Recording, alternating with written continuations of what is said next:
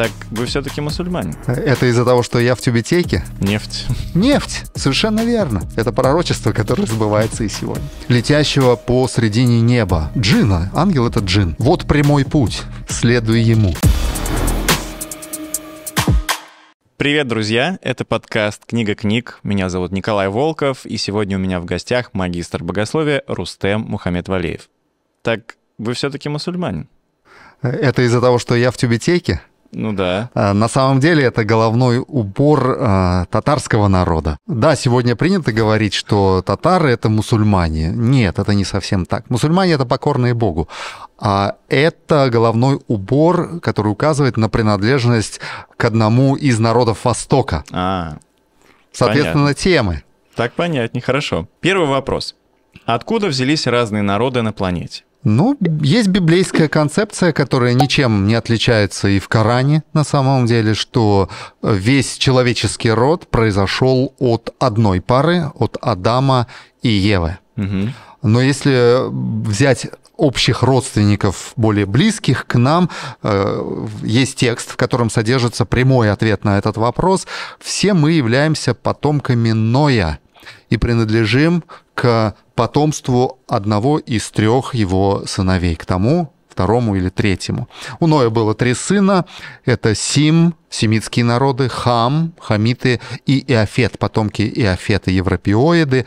Вот. И Библия говорит так, это сыновья их, вот племена сынов Ноевых, по родословию их, в народах их.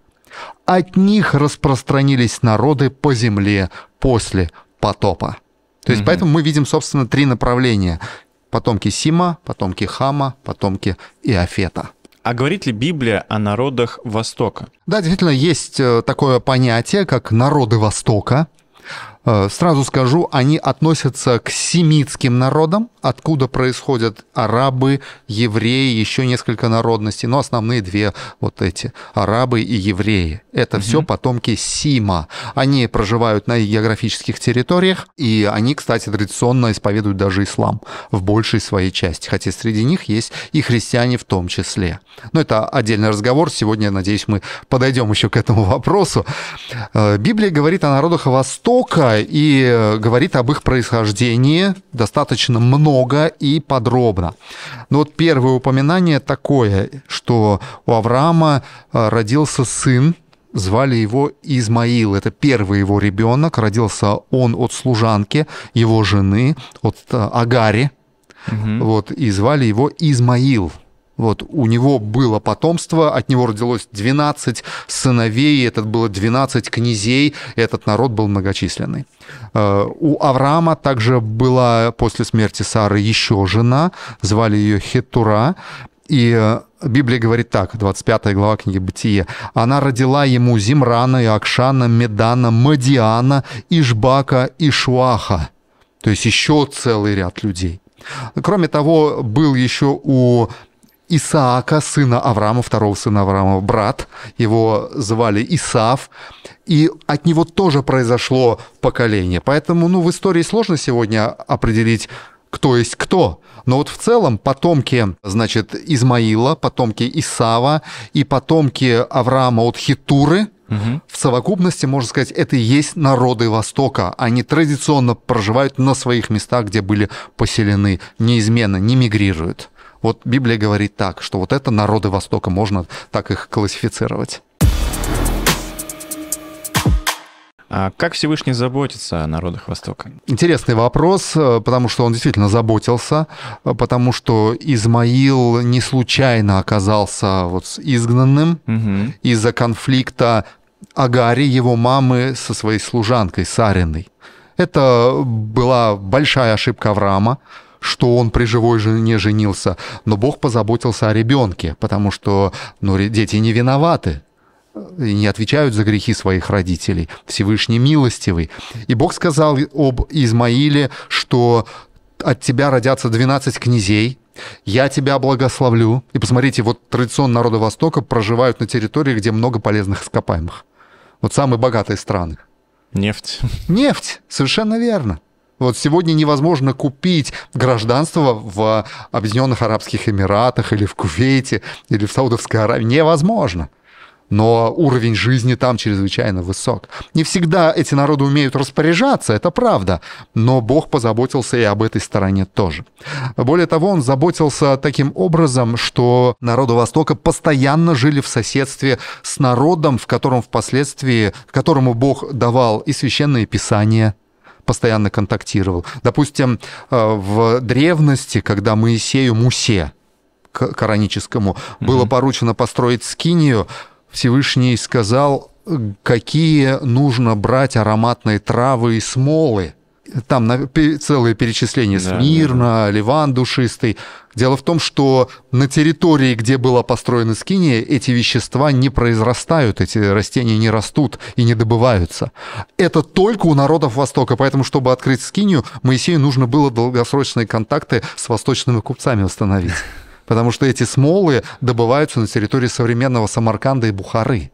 Угу. Это их, то есть это их, как скажем так, традиционное занятие, вот э, эти душистые вещества. То есть Бог заботился о том, чтобы народы Востока были очень близко с народом израильским и получали от него как священное писание, так и влияние, соответственно, поэтому он заботился очень неплохо. Даже mm-hmm. он просто был верен своему обещанию, я тебя благословлю, я о тебе позабочусь. Более того, о потомках Исмаила было сказано, что он будет среди людей, среди братьев, как дикий осел, животное, которое невозможно приручить, свобода. Ага. И эти народы чрезвычайно свободолюбивы до сих пор чрезвычайно самобытны. Независимость. Независимость. Угу. Они никогда не были рабами. Чем не благословение, чем не забота, ну правда? Ну да, да. Вот, как-то так. А что Иисус или Иса, Иса а, говорил говорить да, о народах Востока? Тем языком. Да, он говорил, и ну, мне нравится один отрывок, я его прочитаю. Это будет авторитетнее. Угу. Это записано в Инжиле, конкретно Евангелие от Матфея, 8 глава, стих 11. Иисус сказал прямо, «Э, «Говорю же вам, что многие придут с востока, слышим, и запада, и возлягут с Авраамом, Исааком, то есть и с Ибрагимом, Юсуфом и Яковом в Царстве Небесном. Говорится, что они возлягут с Авраамом. В царстве Иисус сказал об этом. А имеет значение сначала Восток или а Хороший Запад? вопрос. Действительно, или это простое перечисление, да. какая разница? Запад, Восток, но он же говорит о конкретных народах. Угу. Я считаю, что здесь вполне сознательно Господь подошел к этой теме и сказал, прежде чем придут люди с Запада, придут люди с Востока. А разве это не подтверждается историей? Э, кто первый приветствовал Иисуса ребенка, когда он родился от Марии? От Марии? Мудрецы с Откуда? С Востока. Востока. Свои хотели убить, угу. а мудрецы приветствовали и обеспечили народы Востока, сохранили жизнь Исе. Угу. Потому что те богатства, золото, ладан, смирно, которые они принесли, несколько лет, там примерно до восьми лет, на это жили Иосиф, отчим Иисуса, с Марией в Египте. И опять в Египте. Египет сохранил жизнь Иисусу. Верно? Да. Э, дальше, если мы берем чуть позже период, э, когда стало распространяться христианство, наибольший успех был у христианства в ранний период был не среди греческих городов, а среди городов на территории так называемой Малой Азии. Это территория mm-hmm. современной Турции. Ефес, Смирна, Пергам, Феатира, то есть традиционные места проживания народов Востока. То есть первые христиане вообще были народы Востока, угу. если прямым текстом говорить. Поэтому, собственно, Иисус прав был. Многие придут сначала с Востока, а потом только с Запада. Это пророчество, которое сбывается и сегодня. Почему же тогда народы Востока в своем большинстве исповедуют ислам? А, да, в одной нашей теме мы говорили, что, что действительно народы Востока в большинстве исповедуют ислам. Но нужно понимать, что ислам — это форма раннего протестантизма, восточного именно. Угу. И ислам позволил сохранить народы Востока от очень жуткого в религиозном смысле влияния как иудаизма, так и развращенного христианства угу. которая уже в форме католицизма оказывала влияние на эти народы. Впоследствии, кстати, крестовые походы все время были против мусульман, но они объединились благодаря исламу. Вот интересный момент здесь, когда мы читаем Библию, а, Тору, Таурат читаем, то там очень интересные есть вещи. Говорится, что вот имена сынов Измаиловых. Имена их по родословию их. Первенец Измаилов Наваиов, за ним Кедар. Вот запоминаем эти имена, они нам еще пригодятся. Так вот, Мухаммед, пророк, почитаемый в исламе, пророк Мухаммед, он ведет свою родословную от Кедара. М, От Кедара. То есть это был тот человек, через которого Бог, благодаря исламу, ну, можно сказать так, законсервировал, сохранил от порчи целые народы. Потому что благодаря исламу, впоследствии возникшему в VII веке, впоследствии в XI, в XII веке был такой мощный щит от влияния крестоносцев, что народы Востока не поддались его влиянию. Поэтому, собственно, ислам в свое время сыграл величайшую роль в том, чтобы исполнилось библейское, исполнилось библейское пророчество. И народы Восто- Востока сегодня э, исповедуют, мы как-то тоже говорили об этом, множество доктрин, то есть вероучений, которые есть в Библии. Это и уважение к Писаниям, и вера в судный день, веру в, Ис- в Ису. Да, там много предубеждений. Но согласитесь, сохраненный продукт это лучше, чем испорченный продукт. Верно? Да. И Бог сохранил народы благодаря исламу. Вот поэтому, собственно, это обещание Божие, которое сбылось таким образом. Какой же план у Бога о всех народах Земли? Да, но мы говорили о прошлом, пришло время говорить о будущем, да? Э, Да, и план этот есть. Э, Мне бы... Во, сейчас хотелось вспомнить один отрывок, важный, именно пророческий отрывок, в котором предсказано именно будущее. План — это будущее. Он записан в последней книге Инжила в Новом Завете, в 14 главе сказано так, что в последние дни увидел я другого ангела, летящего посредине неба. Джина. Ангел — это джин в Коране. А, вот почему Да, джин. джин — это ангел. Даже созвучно же. Джин — ангел. Да. Летящего посредине неба, который имел вечное Евангелие, вечный инджил имел. Неизменный инжил, неискаженный. Чтобы благовествовать, его дальше, внимание, живущим на земле всякому племени, всякому колену, всякому языку и всякому народу. И говорил он громким голосом, убойтесь Бога, ислам, да? почитание Бога, покорность Богу. Воздайте Ему славу. Наступил час суда Его. Час Исы наступил.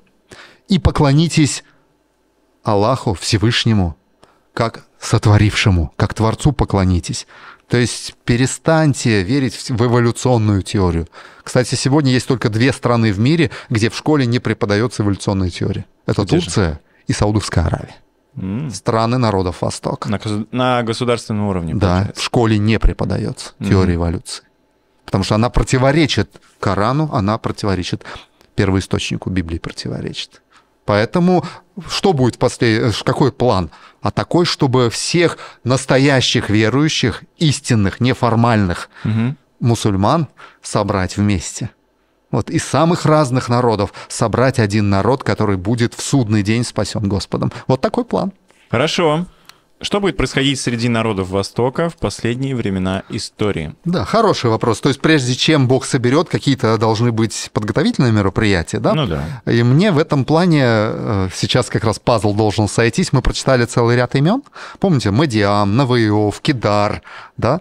И вот пророчество, еще одно пророчество из книги Исаии 60 главы. Я буду читать прямо с первого стиха. «Восстань, светись, Иерусалим». Речь идет не о земном городе, а о вышнем городе, о родине. Так обозначается она в Библии. «Потому что пришел твой свет, и слава Всевышнего взошла над тобою. Ибо вот тьма покроет землю, то есть весь мир погрузится в духовную тьму. И мрак народы, а над тобою воссияет Господь, и слава Его явится над тобою. И дальше, и придут народы к свету твоему. То есть самые разные народы будут стремиться в вечность, написано. Люди из самых разных племен. И цари к восходящему над тобой сиянию. И дальше ему была показана картина, которую Исаия описывает. «Возведи очи твои и посмотри вокруг». Вот все они собираются, идут к тебе. Сыновья твои издалека идут, и дочерей твоих на руках несут. И шестой стих. «Множество верблюдов покроет тебя». Он продолжает описывать это видение. «Множество верблюдов покроет тебя». Драмадеры, одногорбые верблюды, из Мадиама и Ефы. Мгм. Все они из Савы придут, принесут золото и ладан, возвестят славу Господа. Седьмой стих потрясающий. «Все овцы кидарские, А, Кидар, будут собраны к тебе, овны новоиовские послужат тебе». Почему символ использован вот этого животного? Смиренные. мгм. Не мусульмане языком, а мусульмане на деле.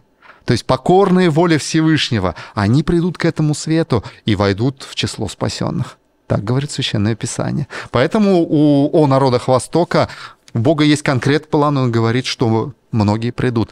Но это будет происходить не массово, а индивидуально. Вот это Мгм. важный момент. А что от меня ожидает Всевышний, если я представитель народов Востока? Ответ простой. Могу прочитать Библию, но давайте прочитаю Коран. Давайте. Вот прямой путь. Следуй ему. То есть обращайся к первоисточнику. Не отвергай истину Таурата, Забура, Инжила. Изучай ее. Мгм. И тогда ты начнешь понимать Коран по-настоящему. И тогда для тебя откроется тот самый прямой путь. И держись за него крепко. Друзья, напоминаю, что если вы хотите глубже изучать Священное Писание, заходите на наш сайт книга-книг.инфо. Регистрируйтесь, проходите уроки. Ну что, Рустем, спасибо большое за интересную беседу. Всевышний велик, Аллаху Акбар.